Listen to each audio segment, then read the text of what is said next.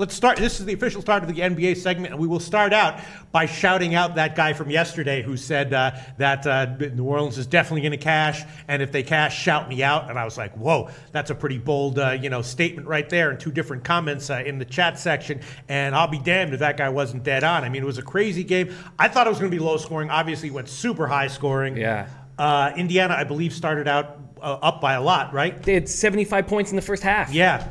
So crazy stuff. And I don't know if you noticed, but right after our show yesterday, you know, we both had the Knicks and Indiana, and both of those lines moved strongly against us right after the show. But the Knicks line movement was not actually sharp. The Knicks, of course, won as we expected. Uh, Indiana, you know, uh, New Orleans, maybe I was, I don't know, two weeks ago I was high on New Orleans. Yesterday I was low on them, and uh, maybe I should have been higher on them. Obviously, Anthony Davis and Marcus Cousins are awesome. The question is, uh, you know, how many, I mean, they're going to be playing a lot of minutes this year. At some point, that's going to be that's going to start to take its toll. I was sort of thinking that it might be a, a, game where they would limit their minutes, and that if you know if, if New Orleans got down, that uh, maybe they would just sort of like pull you know Davis and, and Cousins, and that they would maybe uh, you know just sort of like mail in the game.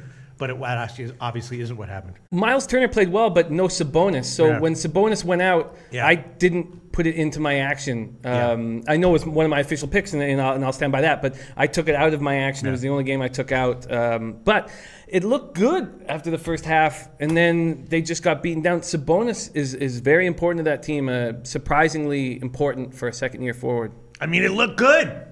Then it was a loser. All right, so Jim, let's talk about the NBA card tonight. Let's uh, quickly uh, quote our overall records because in the NBA we are both uh, doing very well still, despite the debacle from uh, from yesterday. Although actually yesterday you weren't that bad. You only lost uh, uh, four tenths of a unit yesterday. I lost three and a half units. which is really bad because I doubled and tripled up on that New Orleans and Indiana game, and even the Knicks game, which was a winner. I thought it was going to be lower scoring. Charlotte, I, I took the Charlotte team total under. That one was a loser as well. Overall, though, haters, chill out. 31 and 18 in the NBA in my official picks, plus 11 and a half units, 21 and a half percent ROI, and that is way too good to be sustainable. So, uh, you know, I'm still kicking ass in the NBA. And Jim, even after yesterday's uh, modest loser for you, tiny loser, still 40 and 30 in the NBA, plus 8.5 units, 11 and a half percent ROI, and even that is probably too good to be uh, sustainable as well. So we're both we're both kicking it in the NBA, Jim. Well, you are especially kicking it. Yeah. My numbers are going down.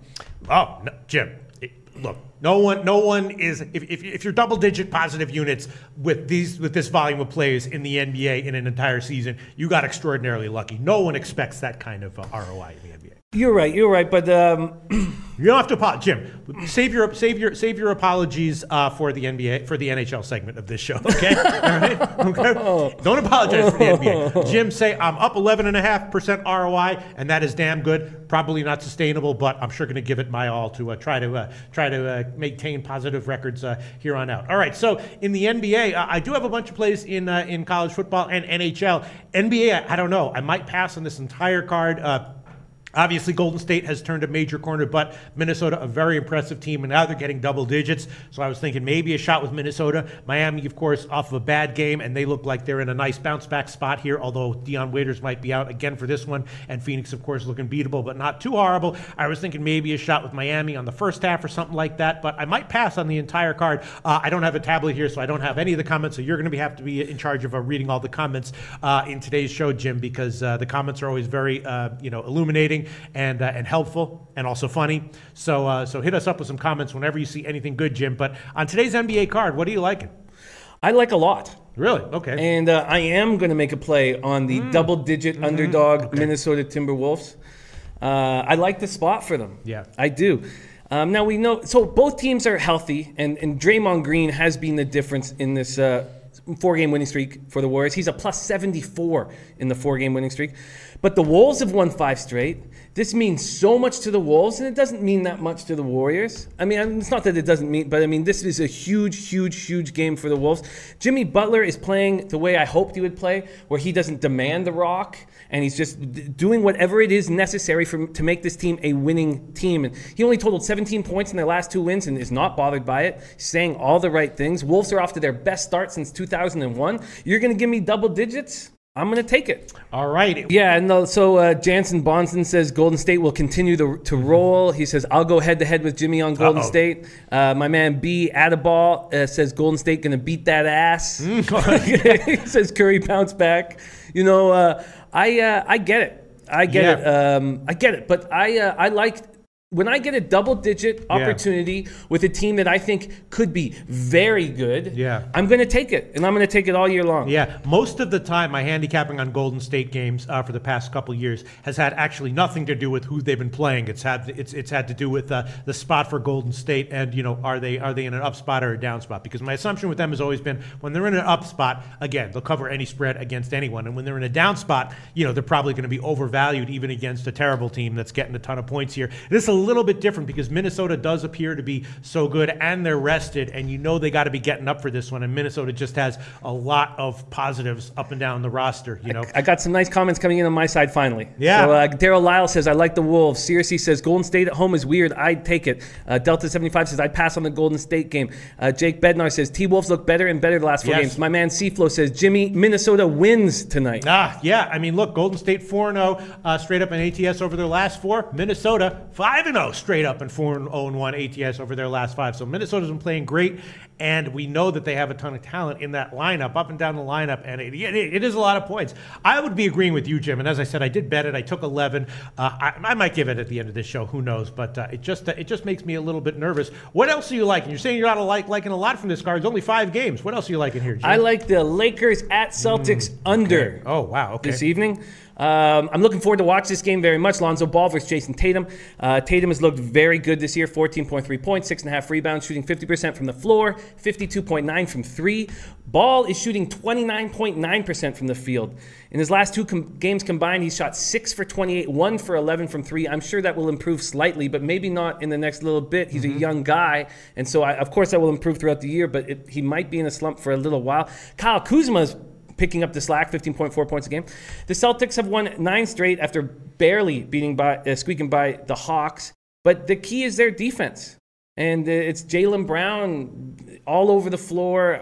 I just think that um, I think this is going to be a hugely watched game with tons of pressure, and Irving is going to go off. He clearly likes being the leader of this team, relishing this opportunity, and I like the under here. Yeah, I mean, we have seen the Lakers go uh, go very low scoring, uh, you know, against teams that that play that kind of game. They had a very low scoring game against Utah earlier this year, I believe. In general, though, they do like to play higher scoring. And Boston's last game was uh, was was finally an over for Boston. That was a lot higher scoring than uh, than we were expecting. So this one also kind of makes me nervous. Uh, the line has gotten bet up. The total was 208 on the opener. Now it's up to 210 or 210 and a half. So we can give you under 210 and a half minus 110, unless you want under 210 minus 105 at Pinnacle. No, I love the 210 and a half. 210 and a half minus 110. Yeah, I mean, Boston obviously uh, playing clampdown defense. And again, the Lakers can be slowed down by teams that, uh, that, that play that way. We've seen that this year. Uh, but Boston's last game was not like that. So that one's definitely a pass for me. That's a second pick from Jimmy the Bag. Any comments? Again, I don't have the comments. Yeah, um, it's uh, uh, LT says Boston under. Uh, Jansen Bonson says Lakers on the road. Um, says I may I might lie off, or lay off. Uh, Big Easy VZ, my man Big Easy VZ loves Boston. Um, Good video on YouTube why Lonzo Ball can't score, says Delta 7575. Mets Junkies Trap House. Uh, what, uh, I love capping with this guy. Says uh, Boston has been a scrappy, gritty team. Um, you know, uh, yeah. Why? Uh, Alan Schmidt says why the under. Celtics will score at least 100 on the Lakers, and that won't bother me at all because I don't think the Lakers score 95 points tonight. Yeah, I mean, we'll see. That one, uh, that one's another pass for me. Uh, Jimmy the Bag. What else do you like from the other three games? Anything? Yes, I like the Knicks at mm, Magic mm, over. Mm. Uh, both teams come into this tilt at six and four, but as we expected, and we talked about, Orlando's ridiculously hot shooting has come to an end. But it's not going to be as bad as it's been the last two games. Mm-hmm. I believe they step up their shooting. They shot 40.7% from the field in their 22 point loss to the Bulls. Then they shot 36.3% in their 16 point loss to the Celtics. They went six for 29 from three versus Celtics because the Celtics defend that three point line better than any team in the league. Uh, Porzingis is on, so I, I believe that the Magic are going to turn around and start shooting better again. And Porzingis is on absolute fire. They're going to put Aaron Gordon on, and that's not going to work. The Knicks have looked very good in the fourth quarter of late. They came back from 19 to defeat the Pacers, came back from 15 to defeat the Hornets. They've outscored opponents 71 36 in the fourth. Um, I like it. I, I like the spot. Does it concern you that Orlando's troubles are uh, might have something to do with uh, the, all their injuries at point guard, and that they don't really have a point guard, uh, you know, to, to run the offense to get things going? You know, I like Elfrid Payton as because he's so long. I like his defense, and, and, and yes, he does distribute the ball well. But uh, I think this is all about Fournier and all about Gordon Mm-hmm. hitting threes. Now you're right; the distribution has been a problem, but the but Payton's been out for what seven or eight games Yeah, in a row. I mean, they right, were they were knocking down buckets like crazy, Yeah. you know, during this uh, tough spot. So I like it. All right, uh, the total is uh, hasn't moved since opening. 213 and a half over 213 and a half 105 minus 105 is uh, the line right now at Pinnacle. All right, Jim the bag. So far you're giving Minnesota plus 10 and a half minus 105. Lakers Boston under 210 and a half minus 110 and and the Knicks Orlando over 213 and a half minus 105. I'm glad you're giving a lot of picks here because I might uh, just completely pass on this one. Other game is Miami and Phoenix and again, you know, uh, Miami just having there were some issues with uh, Whiteside in the last game where he only played 16 minutes or whatever it was. And so I'm thinking that Miami might be a good play here, although I believe that Waiters is still out. Do you know anything about that? He's still out. Waiter, right? I've heard that Waiters will be in the lineup. Oh, really? evening. Yes. Okay. Well, that makes me like it a little bit more. And the first half, wow, it's just minus three uh, or minus two and a half at Bookmaker and uh, Bet Online. And all right, all right, okay, okay, I'll give that one. I'll give that one. Miami, first half minus two and a half, minus 110 at uh, betonline, bookmaker, a few places. Minus two and a half, minus 110. Uh, you understand my reasoning, Jim. Do you agree with it or disagree with it? What do you think? I think that the Whiteside issue is such a question mark Mm-hmm. that I'm leaving this game alone. Now, I understand your ideology completely. Yeah. Uh, but because Whiteside has always been um, an interesting character, he had all the skills. He was on the Raptors practice roster, Yes. or, uh, summer league team. Um, prac- you know, he, he, he- why did he take so long to develop into a star? I think it's because of what's going on upstairs. Yes. And I can't count on Similar Whiteside to me. Yeah, I understand. but I can't count on Whiteside to, to, to step up in this situation. Mm-hmm. I just can't. Yes. Hassan Whiteside, a tortured, supremely talented entity. Uh, I'm gonna t- I'm gonna take Miami here, first half two and minus two and a half, minus one ten. Again, it might lose, but I think it is a bit of a bounce back spot for this team in general. And Phoenix again is a team that uh, maybe not as bad as people are thinking, but uh, definitely fadeable uh, in spots. And, uh, and and I think this uh, this might be uh, one of the spots. All right, Jim. What else do you? Uh, what Well, else do you got some great comments here. Yeah? We can go over a bit. Yeah, uh, go ahead. Thomas Lathan says uh, he says Miami slowed it down against the Warriors. I think they'll keep the tempo slow again. Mm-hmm. And uh, yes, I, I think so. Without Whiteside, uh, if he doesn't play very much, they'll definitely do that. Uh, Alan Schmidt likes Miami first half. Yep. You know, loves that. Two and a half minus one ten. Delta 7575 says uh, Miami under team total. Um, again, uh, yeah, and Alan Schmidt is uh, repeating Miami first half. Um, uh, Jansen Bonson wants to know about Miami full game. Uh, Andrew G says Waiters must be playing. Line is moving in Miami's favor. Right, right. Uh, we have some uh, uh, picks for the score. Delta 75 says Miami 104, Suns 102. Interesting. That would indicate uh, lean to the to the under, and also the uh, both team total unders. The Miami team total under right now, Pinnacle 109 minus 106, and the Phoenix team total under is 103 and a half minus 107. I'm just a little bit uh, concerned about uh, how wrong I was about the the totals. Uh, you know, yesterday in general. Uh, that that I'm uh, I'm just going to uh, you know I'm gonna I'm, I'm gonna hold off right now. But yeah, I, I think that the under on the game is probably worth a shot, and maybe the Miami team total under. But I'm just gonna stick with one play. The first half, uh, the Miami first half minus two and a half, minus 110 as an official pick, Jim.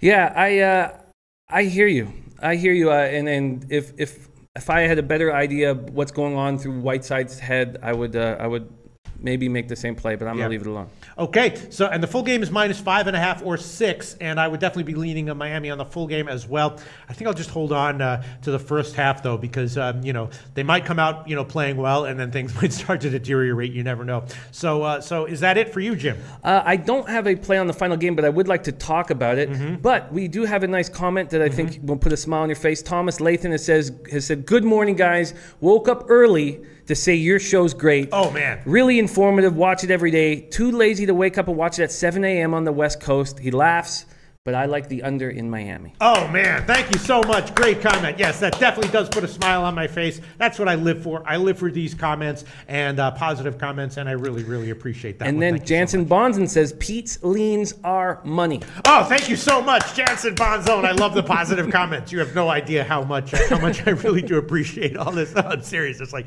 you know that that, that is what I live for. Uh, these comments and uh, and uh, I guess and I guess partially.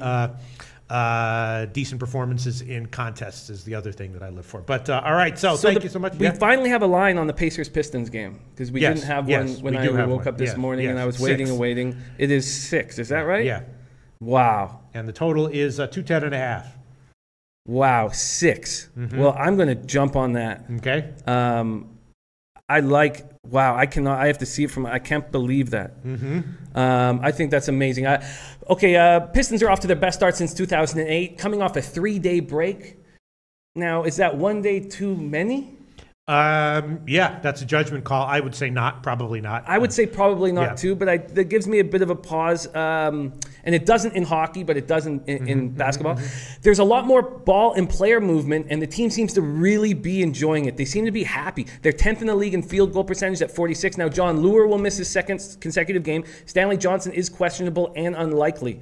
But the Pacers have lost three straight. Indiana was outscored 56 37 in the second half by the Pelicans. And Sabonis is going to miss his second straight game with a right calf contusion. I love this line. Yeah, man, Sabonis was out. Did we know that? I- How come I didn't have that information for this? For We, the we didn't know that until uh, uh, it didn't come out until an hour and a half or two hours after the game. That's why I didn't put it in with my local.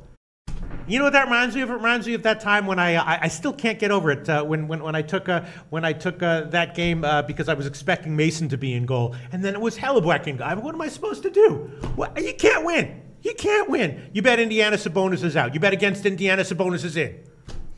Yeah, yeah, but you are still 21.1 Yeah, that's right. I got nothing to complain about. Nothing to complain about. I'm still positive in every single damn sport, every single goddamn sport, every single one, including uh, NHL and college uh, football. All right, so uh, you're going to take Detroit here? Uh, I am, and Mr. M- uh, Mr. Gogster99, I'm all over the Pistons. Mm-hmm. Uh, my man, I Retrostar is saying, Jimmy, I told you to stop sleeping on the Pelicans.